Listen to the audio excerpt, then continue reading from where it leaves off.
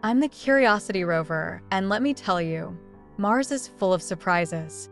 I've stumbled upon these mesmerizing yellow crystals made of pure sulfur.